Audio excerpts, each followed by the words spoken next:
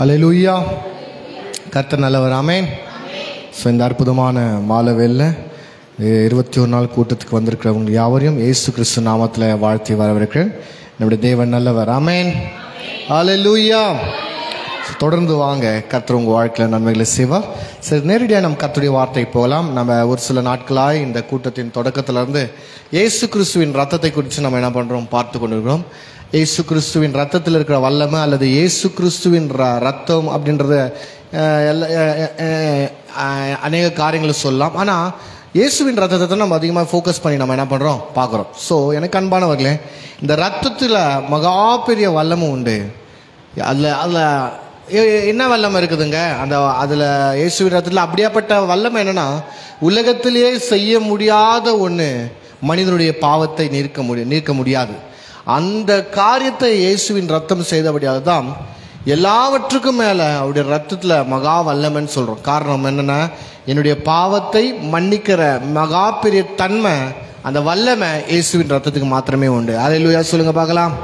அலையிலூயா so அந்த ரத்தத்துக்கு அவ்வளோ வல்லமை இருக்குது அந்த அந்த வல்லமை மாத்திரம் அல்லாமல் இன்னும் அநேக காரியங்கள் நம்ம பார்த்தோம் தொடர்ந்து பார்க்க போகிறோம் ஸோ விசேஷமாய் நம்ம ஒரு சில நாட்களாய் ரெண்டு மூணு நாட்களாய் இந்த பஸ்காவை குறித்து நம்ம என்ன பண்ணுறோம் பார்த்து கொண்டுக்கிறோம் ஏன்னா பழைய ஏற்பாட்டிலேயே இயேசு கிறிஸ்துவின் மரணத்துக்கு நிழலாய் ரொம்ப அதிக விஷயத்தில் ஒத்து போகிறது அந்த பஸ்கா மாத்திரம்தான்.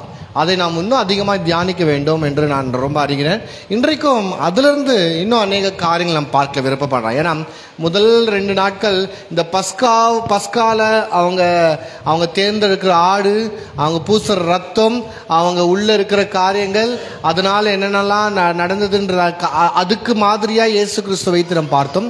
நேற்றைய தினத்தில் வந்து பஸ்கா ஆ, பஸ்கானால அவங்க வெறியும் அப்போ அந்த அந்த இரவு காக்கப்பட்டது மாத்திரமல்ல.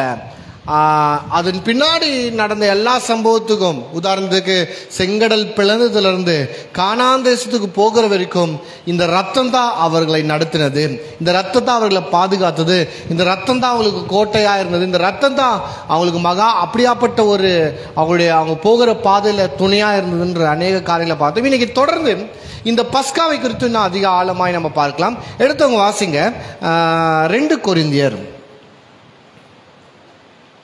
சாரி ஒன்று கொரிந்தியர் ஐந்தாம் அதிகாரத்துக்கு திருப்போமா ஒன்று கொரிந்தியர் ஐந்தாவது அதிகாரம் ஏழாவது வசனத்தை பாருங்க. ஒன்று கொரிந்தியர் ஐந்து ஏழு. ஆகையால் ஆகையால் நீங்கள் புளிப்பில்லாதவர்களாய் இருக்கிறபடியே ஆகையால் நீங்கள் புளிப்பில்லாதவர்களாய் இருக்கிறபடியே இருக்கிறபடியே புதிதாய் பிசைந்த மாவாய் கவனிங்க கவனிங்க. ஆகையால் நீங்கள் புளிப்பில்லாதவர்கள் புளிப்பில்லாதவர்களாய் இருக்கிறபடியே. இருக்கிறபடியே. அப்ப யாரை பத்தி பேசாருன்னா புளிப்பில்லாதவர்களை பத்தி பேசார். யார் புளிப்பில்லாதவங்க? நீங்களும் நானும் தான் புளிப்பில்லாதவர்கள். அப்படின்னா ரட்சிக்கப்பட்ட ஒரு ஆளை குறித்து பேச பேசும்போது நாம் புளிப்பில்லாதவர்களா? நம்மளுக்கு பைபிள் அநேக பேர் கொடுக்குது. ஆவிக்குரியவர்கள் விசுவாசி அப்புறம் மனவாட்டி அப்படின்ற அநேக காரியங்கள். ஆனால் பவுல் ஒரு வார்த்தை சொன்னார் பார்த்தீங்களா ஒரு பேர் என்ன பேர்? நாம் யாரா? புளிப்பில்லாதவர்களாம் அப்போ புளிப்புனா என்ன? இந்த புளிப்பில்லாததை பற்றி இதை இந்த அதிகாரத்தை பற்றி இந்த அதிகாரத்தில் நீங்கள் தொடர்ந்து வாசிக்கும் போது சொல்லப்படுது இந்த பாவத்தை பற்றியும் துன்மார்க்கத்தை பற்றியும் சிம்பிளாக சொல்லப்போனா பாவம். பாவம் தான் புளிப்பாய் சொல்லப்படுது. உதாரணத்துக்கு ஒரு புளிப்பான மாவு இருக்குங்கன்னு வச்சுக்கோங்களேன். அந்த புளிப்பான மாவை புளிப்பில்லாத மாவோடு கூட கலந்தா என்ன புளிப்பில்லாத மாவு கூட என்ன புளிப்பாயிடும். ஓகேங்களா? அப்போ இந்த புளிப்பு எதற்கு அடையாளமா இருக்குதுன்னா பாவத்துக்கு அடையாளமா இருக்குது. அப்போ இந்த பாவம் நமக்குள்ள சாரி பரிசுத்தமான இருக்கிற ஆட்களுக்குள்ள பாவம் வந்தா இந்த பரிசுத்தமான ஆளும் என்னவா மாறிடுறாங்க? பாவமாயிடுறாங்க. அப்ப பவுல் நம்மளை குறிப்பிடும் போது நம்ம எப்படியாப்பட்ட ஜனங்கள் என்று சொல்றாரு? புளிப்பில்லாதவர்கள் என்று வேதம் சொல்கிறது. தொடர்ந்து வாசிங்க இப்போ. உங்களுக்கு புரியும் பாருங்க. புதிதாய் பிசைந்த மாவாய் இருக்கும்படி ஃபர்ஸ்ட்ல இருந்தே வாசிங்க. நீங்கள் புளிப்பில்லாதவர்களா இருக்கிறபடியே. நீங்கள் புளிப்பில்லாதவா இருக்கிறபடி அப்படின்னா என்ன நம்ம? புளிப்பில்லாதவர்களா தான் இருக்கிறோம். அப்புறம் புதிதாய் பிசைந்த மாவாய் இருக்கும்படிக்கு புதிதாய் புதி புதிதாய் பிசைந்த மாவா இருக்கும்படிக்கு பழைய புளித்த மாவை புறம்பே கழித்து. பழைய புளித்த மாவை நீங்க என்ன பண்ணுங்க? புறம்பே கழித்து புறம்பே கழித்து போடுங்கள். கழித்து போடுங்கள். ஏனெனில் ஏனெனில் நம்முடைய பஸ்காவாகிய. கிறிஸ்து இந்த இந்த புளிப்பை என்ன பண்ணுங்க? நீங்க கழித்து போடுங்க. புளிப்போட சேராதீங்க. புளிப்போட இணையாதீங்க. புளிப்பு உங்க வாழ்க்கையில வேண்டாம். ஏனெனில் ஏன்? ஏன் இதை சொல்றேன்? புதிதாய் பிசைந்த மாவா போல இருங்க. புளிப்பில்லாம இருங்க. ஏன் இதை சொல்றேன்னா ஏனெனில் நம்முடைய பஸ்காவாகிய நம்முடைய பஸ்காவாகிய கிறிஸ்து நமக்காக பலியிடப்பட்டிருக்கிறாரே. நமக்காக பலியிடப்பட்டிருக்கிறாரு. ஏன் நான் புளிப்பில்லாம இருக்கணும்? ஏன் நான் புளிப்போடு சேரக்கூடாது? ஏன் புளிப்புக்கு வாழ்க்கைக்கு ஒப்பு கொடுக்கூடாது ஏன் புதிதாய் பேசுந்த மாவா நான் இருக்கணும் என்றால்? ஏனென்றால் கிறிஸ்து என்கிற பஸ்கா நமக்காக பலியானாரு. ஒரு ஆள் இல்லையா? சொல்லுங்க பார்க்கலாம். ஏன் அவர் பலியானார் என்றால் நான் புளிப்பில்லாமல் வாழும்படி ஆயிட்டான் ஒரு ஆள் இல்லையா? சொல்லுங்க பார்க்கலாம். அப்ப முதல் காரியம் the benefit of the blood of Jesus இயேசு கிறிஸ்துவின் ரத்தத்தினால நான் பெறுகிற நன்மைகள் என்னென்ன? முதலாவது நன்மை என்னிடத்தில் இருந்த பாவத்தை நீக்கி என்னை பரிசுத்தமாய் அவர் வாழ வைக்கிறார். அலையிலூயா அலையிலூயா வாசிக்கலாம் ஒரு வசனத்தை. ஒன்று யோவான் பாருங்களேன். ஒன்று யோவான் ஒன்றாம் அதிகாரம் ஏழாம் வசனத்தை பாருங்களேன். ஒன்று யோவான் ஒன்றாம் அதிகாரம் ஏழாம் வசனம். அவர் ஒளியில் இருக்கிறது போல அவள் ஒளி அவர் ஒளியில் இருக்கிறது போல நாமும் ஒளியிலே நடந்தால் ஒருவரோட ஒருவர் ஒருவரோடு ஒருவர் ஐக்கியம் பட்டிருப்போம் ஐக்கியப்பட்டிருப்போம். அவருடைய குமாரனாகிய கவனிங்க அவருடைய குமாரனாகிய இயேசு கிறிஸ்துவின் ரத்தம் இயேசு கிறிஸ்துவின் ரத்தம் சகல பாவங்களையும் சகல பாவங்களையும் நீக்கி நம்மை சுத்திகரிக்கும். நம்மை சொல்லுங்க நம்மை சுத்திகரிக்கும். எது? எது? அப்ப அவர் ஆண்டவர் சொல்ல அவர் சொல்றாரு அவர் ஒளியில் நடக்கிறது போல நாமும் ஒளியில் நடந்தால். அவர் என்ன விரும்புகிறார் என்றால் நான் எப்படி இருக்க வேணுமோ அப்படிதான் என் பிள்ளைங்க இருக்கணும். நான் எப்படி ஒளியில் இருக்கிறாரோ அவர் எப்படி ஒளியில் நடந்தாரோ அதே போல நாமும் நடக்க முடியாது. கர்த்தர் விரும்புகிறார். எப்படிப்பா எங்களால் முடியும்? அவர் கடவுள் அல்லவா? அவர் பரிசுத்தவான் அல்லவா? அவர் நீதி உள்ளவர் அவர் பெரியவர் அல்லவா? அவர் அப்படி அல்லவா? இப்படியாவது சொல்றார். ஓகே அதுக்கு தான் சொல்றார். இப்போ ஒரு கேள்வி எழும்புதில்லை. ஏய் என்ன மாதிரி நீ ஓடுப்பானா? ஐயோ அவனை மாதிரி நான் எப்படி ஓட முடியும்? அவன் வாலிப பையன். எனக்கு அறுபது வயசு ஆச்சு நான் எப்படி ஓட முடியும்? ஒரு கேள்வி வருதா இல்லையா? அவங்கள மாதிரி பிஸ்னஸ் பண்ணுங்கப்பா. எப்படிப்பா பண்ண முடியும்? அவங்ககிட்ட அவ்வளோ பணத்து அவங்க பண்ணுறாங்க நம்ம கிட்ட எங்கே இருக்குது? எல்லாத்துக்கும் ஒன்று சொல்கிறோமா இல்லையாங்க? ஒருத்தர் ஏதாச்சும் பெட்டராக ஒன்று பண்ணா அவங்கள மாதிரி நம்ம பண்ணும்போது பண்ணலான்னு சொல்லும்போது இல்லை இல்லை அவங்க அப்படியாச்சு இவங்க இப்படியாச்சு அவங்க அவ்வளோ படிச்சிருக்காங்களே அதனால தான் அவங்க அவ்வளோ சம்பாதிக்க நம்மளால முடியுமான்ற மாதிரி சொல்கிறாங்க அது போல தான் நான் அவர் ஒளியில் நடக்கிறது போல நீங்களும் ஒளியில் நடப்பதா நடக்கணும் தானே? அப்போ அவர் ஒளியில் நடந்தால் நான் எப்படி நடக்க முடியும் அப்படின்னு சொல்லும்போது அடுத்தது சொல்கிறாரு ஏன் நீங்கள் நடக்கணும்? ஏன் நீங்கள் நடக்க முடியும்னு சொல்கிறேன்னா நீங்கள் எப்படியாப்பட்ட ரத்தத்தினால கழுவப்பட்டீங்க அப்படியே சொந்த குமாருடைய ரத்தத்தினால கழுவப்பட்டீங்க நீங்களாம்.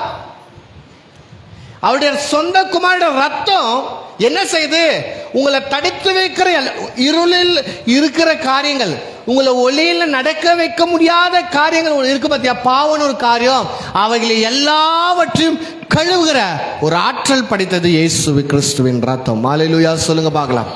ஆலையிலூயா ஆலையிலூயா அப்போ இயேசு கிறிஸ்துவின் ரத்தம் சகல பாவங்களிலிருந்து நீக்கி என்னை இப்போ சுத்தமானபடியால் அவர் எப்படி ஒளியில் ஒளியில் நடக்கிறாரோ அது போல நானும் ஒளியில் நடக்கிறேன். அலையிலோயா ஒளினா வெளிச்சம் மாத்திரம் அல்ல. ஒளிக்கு இன்னொரு அர்த்தம் என்ன தம்மாங்க சத்தியம்.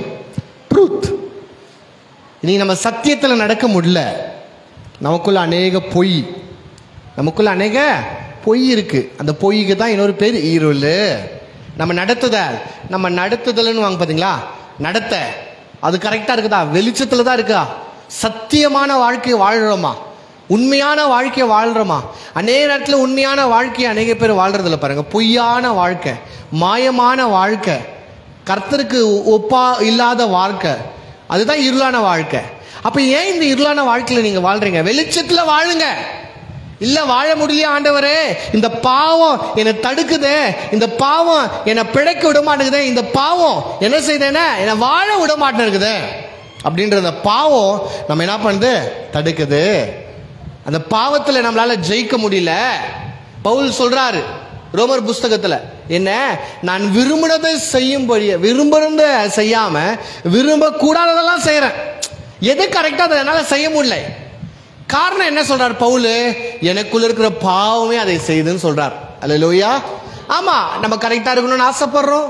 இதை பண்ணக்கூடாதுன்னு ஆசைப்படுறோம். ஆனா தவறு செய்துடுறோம். இந்த சரீரத்தில் இருக்கிற தவறுகள் செய்கிறோம் அதுக்கு தான் கர்த்தர் சொல்றாரு. உன்னுடைய பாவத்துல நீங்கள் ஜெயிக்க ஒரே ஒரு வல்லமை எதுல இருக்குன்னா இயேசு கிறிஸ்துவின் ரத்தத்துல மாதிரி தான் இருக்குது. அந்த ரத்தம் என்ன செய்தா? சகல பாவத்துல இருந்து உன்னை நீங்கள் நீக்கி உங்களை சுத்தமாக்குது. சுத்தமானவர்கள் என்ற அந்த உணர்வு உங்களுக்கு இருந்தால் மாத்திரமே நீங்கள் பாவம் செய்ய மாட்டீங்க.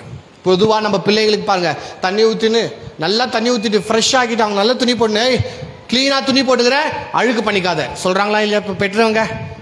நல்லா க்ளீனாக ரெடி ஆயிட்டு குளிச்சுட்டு இருக்கிற நீ போய் என்ன பண்ணாத? மண்ணில் விளையாடாத. ஏன் அம்மா அப்படி சொல்றாங்க? ஏன்னா அம்மா என்ன பண்ணியிருக்காங்க தண்ணியை ஊற்றி க்ளீன் பண்ணி அசுத்தமாக்கி நல்ல ஒரு ட்ரெஸ்ஸை போட்டுக்கிறபடியால நீ நல்ல ட்ரெஸ் போட்டுக்கிற நான் இப்போ தான் குளிச்சுக்கிற போய் மண்ணில் விளையாடாத. ஒருவேளை நல்ல குளிப்பாட்டி துணியை போட்டு நல்ல துணியை போட்டு பிள்ளைகளை கொஞ்ச நேரத்துக்கு அப்புறம் பிள்ளை போய் சேத்துலையும் மண்ணிலையும் விளையாட்டு வரும்போது இப்போ தானே உன்னை குளிப்பாட்டி நல்ல அழகான ட்ரெஸ் போடு. இப்போ தான் போட்டு அமிச்சு எவ்வளோ அழுக்கு பட்டிருக்கலாம் பாரு. சொல்கிறாங்களா இல்லையா? சொல்றோமா இல்லையா? அப்ப அதுதான். எப்போ நம்ம சுத்தமா ஆயிட்டோம் நான் சுத்தமா இருக்கிறேன் என்ற கான்சியஸ் நம்மளுக்கு இருக்கும்போது அது என்ன செய்யணும்னு கேட்டா ஐயோயோ நான் சுத்தமா இருக்கிறேன் நான் என்ன பண்ணுறது? போய் மண்ணில் விளையாடக்கூடாது. அதுதான் கர்த்தர் சொல்றார். நான் பரிசுத்தமா இருக்கிறது போல நீங்களும் பரிசுத்தமா இருங்க. அப்படின்னா என்ன சொல்றாரு? உங்ககிட்ட இல்லாத பரிசுத்தத்தை அவர் சொல்லல. நம்ம என்ன நினைச்சுக்கணும்னா அவருக்கு நிகரான பரிசுத்தம் நம்ம இருக்க முடியுமா? அவரை போல நம்ம பரிசுத்தமா வாழ முடியுமா? அப்படின்னு நம்ம சொல்றோம். இல்ல இல்ல கர்த்தர் உங்களை எந்த பரிசுத்தத்தில் வச்சாரு? உங்களை கழுவி சுத்தமாக்கி ஒரு ட்ரெஸ்ஸை போட்டு ஒன்று வச்சார் பார்த்தீங்களா ரட்சிப்பின் போது. அதில் அப்படியே இருங்கன்றார் கர்த்தர். அதுதான் சொல்லப்படுது பாருங்க. அந்த ரத்தம் என்ன பண்ணுது? சகல பாவத்திலிருந்து என்னை நீக்கி என்னை சுத்தமாக்குது. இப்போ இதுக்கும் பஸ்காக்கும். புதிய ஏற்பாட்டில் நம்ம வாசிச்ச ஒன்று குறைந்திருக்க என்ன சம்மந்தம்னா அங்கே குறிப்பிட்ட காரியத்தை பற்றி பேசுகிறார் எகிப்துக்கு சங்கா எகிப்து தேசத்தில் சங்காரம் நடக்கும்போது நீங்கள் பாதுகாக்கப்படணும் என்றால் பலியாயிடுங்க. ஆனா இங்க சொல்றாரு நீங்க புதிதாய் பேசிந்த மாவா இருக்கிறீங்க. அங்க கூட அந்த சம்பவம் இருக்குது. அதனால தான் கர்த்தர் சொல்றாரு ரத்தம் வீட்டுல பூசப்பட்டு நீ உள்ள போய் என்ன சாப்பிடு? புளிப்பில்லாத அப்பத்தை சாப்பிடு. ஏன்னா இது முதல் கொண்டு நீங்க புளிப்பானவர்கள் அல்ல புளிப்பில்லாத மாவா இருக்கிறீர்கள். அலையிலோயா பாவம் இல்லாதவர்களா இருக்கிறீங்க. காரணம் என்ன? உங்களுக்காக ஒரு ஆடு பலியாச்சு. ஆமாம் நான் நேத்தே சுவாமி நேற்று ரெண்டு மூணு நாட்களாக சொல்லி கொண்டிருக்கிறேன். கர்த்தர் எகிப்த மக்கள் இஸ்ரேல் மக்களை பார்த்து கர்த்தர் ரட்சிக்கல. அவங்கள பார்த்திருந்தா டோட்டலி வாஷ் அவுட் பண்ணிருப்பாரு.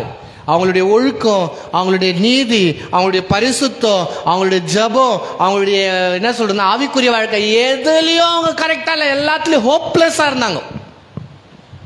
ஹோப்லெஸ்ஸாக இருந்தாங்க. எதுலேயும் எதை எந்த குவாலிட்டியை பார்த்தும் கர்த்தர் அவங்கள செலக்ட் பண்ணியிருக்க வாய்ப்பே இல்லை. எல்லா குவாலிட்டியும் இவன் ஒழுக்கம் இல்லை ஆனால் நல்லா படிக்கிறான்ப்பா இவன்கிட்ட படிப்பு இல்லைனாலும் பரவாயில்ல ஒழுக்கமான பையன்பா. இவன் ரொம்ப அர்த்தியாக இருந்தாலும் போய் பேச மாட்டான்ப்பா இந்த மாதிரி பல கா பல நெகட்டிவ் சொன்னாலும் ஒரு சில பாசிட்டிவ்க்கு சில பேரை செலக்ட் பண்ணிடலாம். அது போல இஸ்ரேவேல எந்த பாயிண்ட்டை வச்சு செலக்ட் பண்ணலாம்? எதற்காக உங்களை ரட்சிக்கணும்? எதற்காக உங்களை மீட்கணும்? எது என்ன இருக்கு அப்படி? ஒண்ணுமே இல்லை. எல்லாத்துலேயும் ஓப்லெஸ் ஆன பீப்புள் அப்ப இவங்களுடைய கேரக்டரை பார்த்து இவங்களுடைய வாழ்வா வாழ்க்கையை பார்த்து இவங்களுடைய குணத்தை பார்த்து இவங்க பரிசுத்தை பார்த்து கர்த்தரால ரட்சிக்க முடியவே முடியாது. ஏன்னா அப்படின்றது ஒன்று இல்லவே இல்லை அவங்க கிட்ட அப்ப எதை பார்த்து கர்த்தர் இவங்களை ரச்சித்தார் என்றால் இவங்க வாசப்படியில் பூசி இருந்தார் ரத்தத்தை பார்த்து அதனால தான் நான் சொன்னேன் ஒரு பாயிண்ட் என்னன்னா எதை பார்த்து கர்த்தர் கடந்து போகிறார்னா ரத்தங்குதா? ரத்தம் இருக்கா? ரத்தத்தை பார்த்து தான் இன்னைக்கு கர்த்தர் அவங்களுக்கு பிழைப்பை தந்தார். இன்னைக்கு அதே நிலைமை தான் உங்களுக்கும் எங்களுக்கும் உனக்கும் எனக்கும். நீங்க யாரு? அது முக்கியமே இல்லை. எந்த ஊர் எந்த ஜாதி எந்த இனம் படிச்சிருக்கிறீங்களா படிக்கலையா உங்கள் அப்பா யார் எவ்வளோ பேங்க் அக்கௌண்ட் இருக்குது டிகிரி இருக்குதா இல்லையா இவை எல்லாம் கர்த்தருக்கு முக்கியமே இல்லை. இது உலகம் கேட்கும். மனிதன் எதிர்பார்ப்பான் ஆனால் கர்த்தர் விரும்புறது என்னன்னா ரத்தத்துக்குள்ள இருக்கிறியா? இன்னைக்கு எத்தனையோ பேர் பாருங்க மோசமான ஆட்கள் கூட தப்பிச்ச காரணம் என்ன? எப்படியோ ஏசப்பாவை ஏத்துன்னு ரட்சிக்கப்பட்டிருப்பாங்க. ரத்தத்தினால கழுவப்பட்டிருப்பாங்க. அதனால தான் அவங்களுக்கு வாய்ப்பு மேல வாய்ப்பு வாய்ப்பு மேல வாய்ப்பு வாய்ப்பு மேல வாய்ப்பு. இல்லை எப்பயோ போய் சேர்ந்து இருக்கணும் நான் சொல்றேன் பாருங்க இஸ்ரேவேல் மக்களை விட எகிப்து மக்கள் கொஞ்சம் பேர் ரொம்ப நல்லவங்க தான் நல்லவங்க தான் ஆனா அவங்கள காக்கல. காரணம் என்ன? கர்த்தர் நல்லவனா கெட்டவனா பார்க்கல. ரத்தத்துக்குள்ள இருக்கிறானா ரத்தத்துக்கு வெளியே இருக்கிறானா? அலையிலோயா அலையிலோயா நான் சொல்றேன் இன்னைக்கெல்லாம் நம்ம பிழைச்சிருக்கு காரணம் உங்க நீதி இல்லைங்க. உங்க பரிசுத்தம் இல்லைங்க. உங்க ஜெபம் இல்லைங்க. உங்க அப்பா அம்மா செய்த புண்ணியம் இல்லைங்க. அவருடைய ரத்தத்தினால மாத்திரம்தான். அலையிலூயா எல்லா கரங்களை சொ- கரங்களை உயர்த்தி சொல்லுங்க. அவருடைய ரத்தம் என்னை காத்தது. ஆமாங்க. சகல பாவத்துல இருந்தும் எங்களை உண்மையை இன்னைக்கு என்னை சுத்தமாக ஆக்கிட்டார் உங்களை சுத்தமாக ஆக்கிட்டு கர்த்தர். தகுதி உள்ள ஆட்களை ஆக்கியிருக்கிறார். அப்ப அந்த பஸ்காவின் ஆட்டுக்குட்டி மூலியமாய் இஸ்ரேல் மக்கள் அன்றைய தினத்துல என்ன ஆகுனாங்க சுத்தமானாங்க. அலையிலுயா சொல்லுங்க பார்க்கலாம். அலையிலுயா இன்னைக்கு அதே போல இயேசு கிறிஸ்துவின் ரத்தத்தினால நீங்களும் நானும் சுத்தமானோம். எப்படி? அந்த ரத்தத்தை நம்ம மேல ஊத்- ஊத்துனாரா? அந்த ரத்தத்தினால கழுவு இல்ல இல்ல லிட்ரலா இல்ல. விசுவாசத்தின் மூலியமாய். அலையிலூயா அப்படியே வாசுங்க கீழே சும்மா அந்த யோவான் அது அது அது ஒரே ஒரு காரியத்தை நான் உங்களுக்கு சொல்றேன். அது எப்படி எப்படி அந்த விசுவாசம் ஒர்க் ஆகுதுன்னு சொல்லிட்டு வாசிங்க எட்டாம் வசனம். நமக்கு பாவம் இல்லை என்போமானா? ஆ. நம்மை நாமே வஞ்சிக்கிறவர்களா இருப்போம். ரொம்ப உண்மை. சத்தியம் நமக்குள் இராது. ஓகே பாருங்க. எனக்குள்ள பாவம் இல்லை என்று நீங்கள் சொல்லுவோமா நீங்கள் சொல்வீர்கள் என்றால் நீ உங்களை நீங்களே. இன்னைக்கு அப்படித்தான் உலகத்தில் இருக்கிறவங்க எல்லாரும் அவங்கள அவங்களே ஏமாத்துருக்குறாங்க.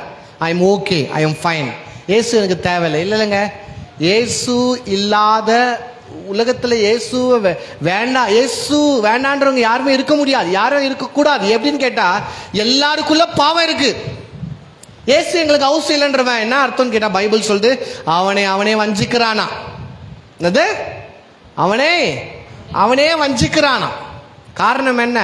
அவனுக்குள்ள இருக்கிற பிரச்சனைக்கு உலகத்துல ஒரே மருந்து இயேசு மாத்திரம்தான். பொதுவாக பொதுவா வேக்சின்னு சொல்லுவாங்க பாத்தீங்களா? இந்த வேக்சின் போடணும்.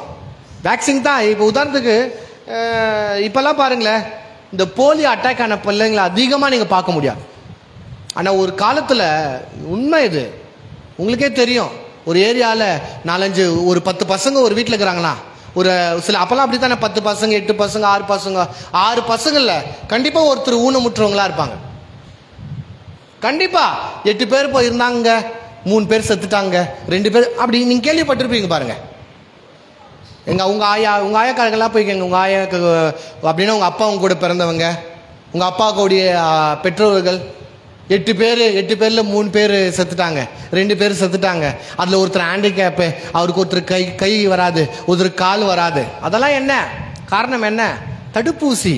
அதனால தான் இன்னைக்கு இவ்வளோ அட்வான்ஸ் ஆகி பிள்ளைங்களுக்கெல்லாம் கவர்மெண்ட் ஃப்ரீயாக தடுப்பூசிகள் என்ன பண்ணுறாங்க போடுறாங்க. கார் என்னத்துக்கு போடுறாங்க? சும்மா விளையாட்டுக்கா போடுறாங்க? இல்லை. அது பேர் வேக்சின் தடுப்பு. எது? வியாதிகள் வராத மாதிரி தடுக்கிறதுக்காக தான் போடுறாங்க. அப்போ இந்த வியாதிகள்லாம் தடுக்கிறதுக்கு ஊசி போட்டுடுறோம். அந்த பாவம் பாவத்தை யார் டீல் பண்ணுறது பாவத்தை யார் குணமாக்க முடியும்? பாவத்தை யார் சுகமாக்க முடியும்? உலகத்தை யாராச்சும் முடியுமா? ஒரு வாழ்நாளும் முடியாது. அதுக்கு தான் வேக்சின் ஏசு கிறிஸ்துவின் ரத்தம். அந்த வியாதியிலேருந்து சுகமாக உலகத்தில் ஒரே மெடிசன் தாக்குது அதுதான் இயேசுவின் ரத்தம். அந்த ரத்தத்தின் மூலியமாக தான் அந்த வியாதி எந்த வியாதி?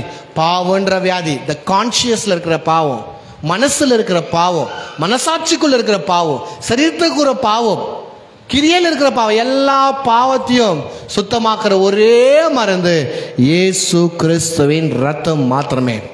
அதுல கழுவப்பட்ட உடனே நாம் புளிப்பில்லாத அப்பமாய் மாறிடும் புதிதாய் பிசைந்த மாவாய் மாறிடும் புதிய சிருஷ்டியாய் மாறினோம். அதனால தான் ரெண்டு குறிந்தர் ஐந்தாம் அதிகாரம் பதினேழாம் வசனம் சொல்கிறது ஒருவன் கிறிஸ்துவுக்குள் என்னங்க கிறிஸ்துவுக்குள்?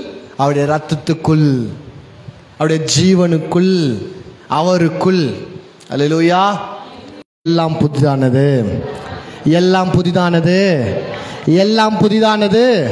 ஆமாங்க உங்க வாழ்க்கை என் வாழ்க்கை. புதிதாய் பிசைந்த வாழ்க்கை. புதிதாய் மாவுக்கு ஒப்பா இருக்கிற வாழ்க்கை. ரெண்டாவது காரியத்தை பார்க்கலாம். முதலாவது காரியம் என்ன? எனக்குள்ள இருக்கிற புளிப்பெல்லாம் புளிப்புனா என்ன பாவத்தெல்லாம் அவர் என்ன பண்ணாரு? எடுத்துட்டாரு. ரெண்டாவது மிக முக்கியமான காரியம் என்னன்னு கேட்டா வாசிங்க பார்க்கலாம். யாத்திராகமும் பனிரெண்டாம் அதிகாரம். இருபத்தி ரெண்டாம் வசனத்தை பாச பாருங்களேன். ஈசோப்பு கொழுந்துகளின் கொத்தை எடுத்து எடுத்து கிண்ணியில் இருக்கும் ரத்தத்தில் தோய்த்து அதில் இருக்கும் அந்த ரத்தத்தை. வாசல் நிலைக்கால்களின் மேற்சட்டத்திலும் வாசலின் நிலைக்கால்கள் இரண்டிலும் தெளியுங்கள். தெளியுங்கள். விடியற்காலம் வரைக்கும் ஆ. உங்களில் ஒருவரும் உங்களில் ஒருவரும் வீட்டு வாசலை விட்டு புறப்பட வேண்டாம். புறப்பட வேண்டாம். கர்த்தர் எகிப்தியரை அதம் பண்ணுகிறதற்கு கர்த்தர் எகிப்தியரை அதம் பண்ணுகிறதற்கு அதம் பண்ணுகிறதுக்கு கடந்து வருவார். கடந்து வருவார். நிலையின் மேற்சட்டத்திலும் ஆ, வாசலின் நிலைக்கால்கள் இரண்டிலும்.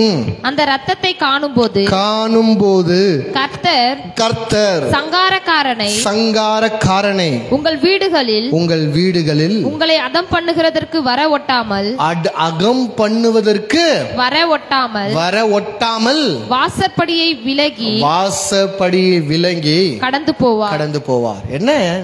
இதனால இதுதான் பார்த்துக்கிறோம் ஆனா இதுல ஒரு புதுசு என்னன்னா சங்கார தூதன் உங்க வீட்டுக்கிட்ட வருவானா கர்த்தர் அந்த ரத்தத்தை பார்த்து நல்லா அவங்க படிக்கும்போது உங்களுக்கு புரிஞ்சிருக்கும்னு நினைக்கிறேன். சங்கார தூதன் வீட்டாண்ட வர சங்கார தூதன் ஏன் வரா? சங்கார சங்கார தூதன்னா தமிழ்ல எப்படி புரியுதோ தெரியலையா? ஆனா இங்கிலீஷ்ல வந்து த ஏஞ்சல் ஆஃப் டெத் சாகடிக்கிற தூதன். சாகடிக்கிற தூதனுடைய வேலை என்ன இருக்கும்? சாகடிக்கு தான். அது அதுக்கு அவன் எப்படி வருவாராம் கையில பட்டயத்தோட தான் வருவாராம். கையில? அப்போ ஒரு வீட்டாண்ட வரான். வந்த உடனே இங்க சொல்லப்படுது கர்த்தர் இல்ல அதுக்கு முன்னாடி என்ன இருக்குது அந்த ரத்தத்தை காணும்போது யாரு? யாரு? கர்த்தர். கர்த்தர் உங்க வீட்டு வாசப்பள்ளுங்கிற ரத்தத்தை காணும்போது ச- சங்காரக்காரனை சங்கார கொலை பண்ணுகிறவனை சங்காரக்காரனை உங்கள் வீடுகளில் உங்கள் வீடுகளில் உங்களை அதம் பண்ணுகிறதற்கு உங்களை உங்களை அதம் பண்ணுகிறதற்கு அதம் பண்ணுகிறதற்கு வர ஒட்டாமல் வர ஒட்டாமல். இங்கிலீஷ்ல ரொம்ப அழகா போடுது he will not permit is death angel to enter ya house என்ன தெரியுமாங்க? உங்கள் வீட்டுக்கு தீங்கு வர அவர் விட மாட்டாராம் சங்கார தூதனை வர வர பண்ணா வர ஒட்ட பண்ணாமல். அப்படின்னா என்ன? கர்த்தர் உங்கள் வீட்டு வாசப்படல ரத்தத்தை பார்த்து உங்கள் உங்களை சாவடிக்க வரும்படியாக வர தூதனை கர்த்தர் தடுக்கிறாராம். தடுக்கிறத விட அவன் உங்க வீட்டை நெருங்காதபடி உங்க வீட்டை கர்த்தர் கடக்க செய்- இவனை கடக்க செய்யும்படியே செய்கிறாராம். அப்ப என்ன? ஒரு அற்புதமான சத்தியம் என்ன? இயேசு கிறிஸ்துவின் ரத்தம் எனக்கு ஒரு மிகப்பெரிய ப்ரொடெக்ஷனை தருது பாதுகாப்பை தருகிறது. அப்படின்றத விட இப்படி சொல்லலாமா? இயேசுவின் ரத்தம் எனக்கு வருகிற எல்லா விதமான ஆபத்து விபத்து தீமையிலிருந்து என்னை காக்குது. ஆலலூயா ஆலலூயா எனக்கு வருகிற தீமையிலிருந்து என்னை காக்கிறது இயேசு கிறிஸ்துவின் ரத்தம். அலலூயா அதான் நான் சொன்னேன் நேற்று தினத்தில். என்னன்னா கிறிஸ்தவர்களுக்கு உரிய பழக்கம். விசேஷமாக நம்ம ஆவிக்குரிய க- சபை பெந்தகோஸ்து சபைன்னு வாங்க பார்த்தீங்களா இவர்கள் அதிகமாக இப்படியாப்பட்ட வார்த்தைகளை உபயோகப்படுத்துவாங்க. பொதுவாக இவங்க வேற வேற என்ன சொல்றது டினாமினேஷன் அதிகமாக உபயோகப்படுத்துறாங்களான்னு தெரியல. ஆனால் நம்மள மாதிரி ஆட்கள் ஆவிக்குரிய சபைகள் அதிகமாக உபயோகப்படுத்துற வார்த்தை இயேசு கிறிஸ்துவின் ரத்தம் ஜெயம் இயேசு கிறிஸ்து இயேசு கிறிஸ்துவின் ரத்தத்தை தெளிக்கிறேன். இயேசுவின் ரத்தத்தை பூசுகிறேன். ஆண்டவரே உங்க ரத்தத்தினால மூடி மறைத்து கொள்ளுங்க. இந்த வார்த்தைலாம் உங்களுக்கு ஞாபகம் இருக்குங்களா? ஏன் ஞாபகம் இருக்குன்னு கேட்டேன்னு கேட்டா இப்பெல்லாம் அதை மறந்துட்டுக்கிறோம். எங்கன்னா வீட்டு விட்டு வெளியே போகும்போது ஆண்டவரே ரத்தத்தினால் என்னை மூடி மறைத்து கொள்ளுங்க. ஜெபிக்கிறீங்களா? ஜெபிப்பீங்கன்னா ரொம்ப சந்தோஷம். தொடர்ந்து அதை ஜெபிங்க. ஏன்னா அது ரொம்ப அற்புதமான சத்தியம். ரொம்ப அற்புதமான சத்தியம். ஆண்டவரே உங்களோட ரத்தத்துக்கு ஒப்பு கொடுக்குற என்னை பாதுகாத்து கொள்ளுங்க. ரத்தத்தினால் என்னை மூடி மறைத்துக் கொள்ளுங்க. ரத்தத்தை தெளிக்கிறோம். ஏன்னா நீங்க யாருன்றது அவருக்கு முக்கியம் இல்லை. நீங்க தெளிக்கிற ரத்தம் அவ்வளோ முக்கியம். அலலோயா அலலோயா இது ஒரு பெரிய ஒரு பெரிய என்ன சொல்றதுன்னா விசிட்டிங் கார்டு மாதிரி. எங்கேயோ ஒரு இடத்துக்கு போகிறோம் ஒரு ஒரு ஒரு காலேஜில் வந்து சீட்டு கிடைக்கிறதுக்காக போகிறோம் பாருங்க. அந்த காலேஜில் சீட் கிடைக்கிறது ரொம்ப கஷ்டம். அப்போ யாரோ ஒரு பெரிய ஆளை பார்க்குறோம். பெரிய ஆள் சொல்கிறாரு ஒன்றும் இல்லைப்பா அந்த காலேஜ் டீன் எனக்கு தெரிஞ்சவர் தான் அந்த காலேஜோடைய பிரின்சிபல் எனக்கு தெரிஞ்சவர் தான் நீ என்ன பண்ணா இந்த என் கார்டை காமி. என் கார்டை காமி. அப்போ நான் என்ன பண்ண அப்போ கண்டிப்பாக உனக்கு என்ன பண்ணுவாங்க? சீட் தருவாங்கன்னு சொல்கிறோம் ஆனால் உண்மையாகவே அந்த கார்டு அவ்வளோ பவர்ஃபுல்லானது நான் என்ன பண்ணுறேன்னா அவர் சொல்லிட்டாருன்னா நான் எப்படி காமிக்க முடியும்னு சொல்லிட்டு அந்த கார்டு எடுத்துன்னு போய் பேக்கெட்டில் வச்சுன்னு போயிடுறேன். பேக்கெட்டில் வச்சுன்னு போயிட்டு சீட் கேட்குறேன் தரமானுங்கிறாங்க எவ்வளோ கெஞ்சி பார்க்குறேன் தரமானுங்கிறாங்க. போராடி பார்க்குறேன் தரமானு காசு கொடுத்து பார்க்குறேன் தரமானுங்கிறாங்க. அப்புறம் கடைசியாக ஞாபகம் வந்து ஆஹா அவர் சொன்னார் காடு காமின்னு சொன்னார் அப்படின்னு சொல்லிட்டு இந்த காடு எடுத்து காமிச்ச உடனே அவர் சொல்கிறாரு இந்த காடை ஃபஸ்ட்டே காமிக்கூடாதா இந்த காடை ஃபஸ்ட்டே காமிச்சிருந்தா நான் என்ன பண்ணுவேன் உனக்கு? வே- ஆ, கண்டிப்பாக சீட் கொடுத்துருப்பேன். அப்போ அந்த காடில் ஒரு பெரிய பவர் இருக்குது. அம்மாவா இல்லையாங்க? நம்ம என்ன பண்ணுறோன்னா இயேசுவின் ரத்தத்தை ஒலுக்கி வச்சுக்கிறோம். இயேசுவின் ரத்தத்தை மறைக்கிறோம். அதுதான் கர்த்தர் சொல்றார். இட் மஸ்ட் பி விசிபிள் இந்த ரத்தம் தான் உங்களை பாதுகாக்க போகுதுன்னா இது நீ என்ன பண்ணிருக்கணும்? இந்த காடுனால தான் உங்களுக்கு சீட் அந்த காலேஜில் சீட் கிடைக்குது. நான் போன உடனே அந்த காடை காமிச்சிருக்கணும். முஞ்சாத நெத்திலே வச்சுட்டு ஒட்டி வச்சுட்டு போயிட்டு இருந்துக்கணும். போன உடனே நீ யாரு? முக்கியம் இல்லை. எந்த ஊர்ல இருந்தாரு? முக்கியம் இல்லை. எந்த ஜாதி முக்கியம் இல்லை. இந்த காடு இந்தாப்பா இந்த காடு. அது போல இதனால தான் எனக்கு வாழ்க்கையில நன்மை உண்டாகுதுன்னா அதை நான் என்ன பண்ண வெளிப்படுத்தணும். அதை தெளிக்கணும். அதை பூசணும். ஏன்னா அதுதான் என்னுடைய பாதுகாப்பு. அதுதான் என்னுடைய அரண். அதுதான் என்னுடைய கோட்டை. அதனால தான் நம்ம அற்புதமான பாடலை பாடுறோம். ரத்த கோட்டைக்குள்ளே நான் என்ன பண்றேன்? ஆண்ட நம்ம நம்ம ஜெபிக்கும் போது ஆண்டவரே உங்க ரத்தத்தை என் மேல பூசுங்க. உங்க ரத்தத்தினால மூடி மறைத்துக் கொள்ளுங்கன்னு சொல்லும் போதே அந்த ரத்தம் எனக்கு கோட்டையாய் மாறியது. ஸ்கூலுக்கு போகிற பிள்ளைங்கள்லாம் ஞாபகம் வைத்துக்கொள்ளுங்க. வேலைக்கு போகிற பெரியவங்கள்லாம் ஞாபகம் வைத்துக்கொள்ளுங்க. வீட்டில் சமையல் செய்கிற பெ பெண்களெல்லாம் ஞாபகம் வைத்துக்கொள்ளுங்க. ஆபத்து எங்கே இல்லை? எல்லாத்துலேயும் இருக்குது. எல்லாத்துலேயும் இருக்குது. ஸ்கூலுக்கு போகும்போது ஆண்டவரே உங்கள் ரத்தத்தினால் என்னை மூடி மறைத்துக்கொள்ளுங்க. ஜெபிச்சுட்டு போங்க. ஒவ்வொரு நாளும் உன் பிள்ளைங்க வீட்டை விட்டு வெளியே போகும்போது அவங்க தலைமையில கை வச்சு அப்பா அம்மா ஜெபிங்க. ஒருவேளை அவனே ஜெபித்து அவளே அவனே ஜெபிக்கிற ஒரு கொ- வயசு வந்துச்சுன்னா அவங்க ஜெபிச்சுட்டு போறாங்களான்னு நீங்க கண்காணிங்க. ஒரு கணவன் வீட்டை விட்டு வெளியே போகும்போது ஒரு ஹால்லையோ இல்லை வண்டி மேலே உட்காரும் போதோ ஆண்டவரே உங்க ரத்தத்துக்கு ஒப்பு கொடுக்குற என்னை பாதுகாத்துக் கொள்ளுங்க என்ன சுகத்தோடு கொண்டு போங்க. ஜெபிங்க. ரத்தத்தை தெளிச்சிட்டு போங்க. வீட்டில் வேலை செய்யும்போது கிச்சனுக்குள்ள போகும்போது கிச்சனில் கூட பயங்கரமான ஆபத்து இருக்குது இருக்குதா இல்லையா? ஒவ்வொரு வாட்டியும் ஸ்டவ் பற்ற வைக்கும் போதும் ஒவ்வொரு வாட்டியும் குக்கரை குக்கரை விசில போடும் போதும் ஆண்டவர் உங்க ரத்தத்தினால என்னை மூடி மறைத்து கொள்ளுங்க. கேஸை மாற்றுமா ரத்தத்தை மறைத்து கொள்ளுங்க ஆமாங்க எல்லா விஷயத்துலையும் ஆபத்து இருக்குது. ஆனால் எல்லாவற்றிலையும் கர்த்தர் இன்றைய வரைக்கும் நம்மை பாதுகாத்து கொண்டிருக்கோம் அவருடைய கரம் நம்ம போகலையும் வருகையிலையும் எங்க எங்க போனாலும் கர்த்தருடைய கரம் அந்த ரத்தம் எனக்கு கோட்டையாக இருந்து என்னை பாதுகாத்து கொண்டிருக்குது. ஒரு அலிலுயா சொல்லுங்க பார்க்கலாம். அலிலுயா சொல்லுங்க அவருடைய ரத்தம் எனக்கு கோட்டை எனக்கு பாதுகாப்பு. எவ்வளோ அற்புதமாக சொல்லப்படுது பாருங்க. ரத்தத்தை கர்த்தர் பார்த்தவொடனே உங்கள் வீட்டுக்கு நேராக வருகிற சங்காரத்துடனே அவன் டைவிட் பண்ணி அனுப்பிச்சிடறார் அவர். இல்லை இல்லைப்பா இந்த வீடை நீ டச் பண்ணவே முடியாது. ஏன்? அவங்கெல்லாம் ரொம்ப நல்லவங்க. ஏழு மணி ஆனால் முழங்கால் போட்டு ஜெபிக்கிறவங்க. அப்படியா? கரெக்டாக தசம பாங்க குத்துறவங்களா அதனால இந்த வீடை தொடாத. அப்படியா? இல்லை இல்லை அவங்க ரொம்ப உண்மையாக இருக்கிறவங்க. தொடாத. அட- அப்படியா? இல்லை இல்லை அவங்க தாத்தா பாட்டி காலத்துலேருந்து அவங்க சர்ச்சுக்கு ரெகுலராக போயிடும் அப்படியா? இல்லை. ஒருவேளை அப்படியா இருக்கிறோம் நம்ம? சர்ச்சுக்கு லேட்டாக வருது. க காணிக்க தஸ்மபாகம் சரியாக க கொடுக்கறது இல்லை டெய்லி பைபிள் படிக்கிற மாதிரி இல்லை.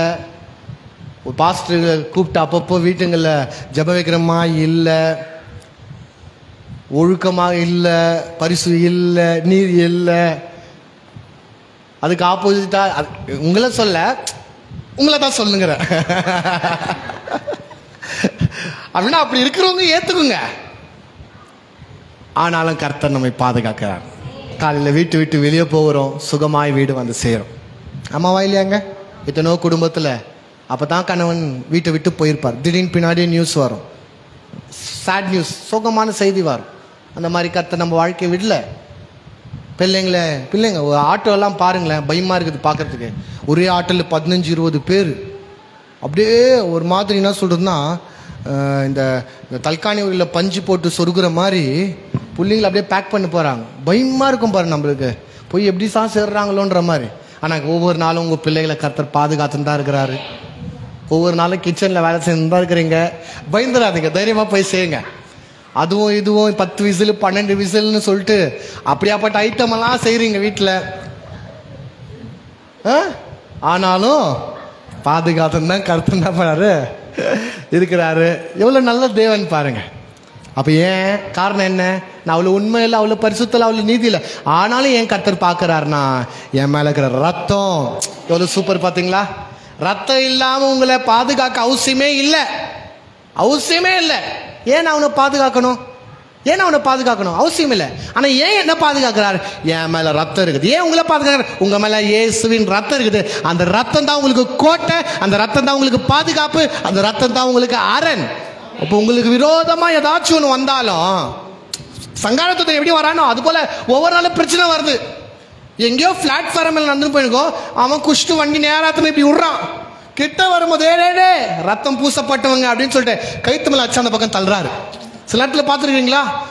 பக்கத்துலேயே தமான வந்து உய்யம் ஒன்று அப்போ தான் குக்கர் வெளியே தூக்கம் போயிருப்போம்.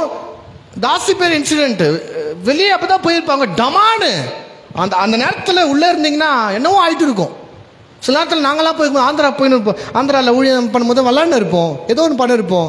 எங்கே போயிருக்கும் போது அந்த இளநீர் அப்படியே வந்து கரெக்டாக பக்கத்துலேயே வந்து விழும். கொஞ்ச நேரம் விட்டா அன்னைக்கு சர்ச்சுக்கு நானும் கீதா வந்து இருக்கிறோம். அந்த பார்க்கோடைய ஒரு அந்த இந்த தைல மரம். நாங்கள் தாண்டி வரோம் பின்னாடி வந்து டமான் உயுது. எப்படி நினைக்கிறீங்க?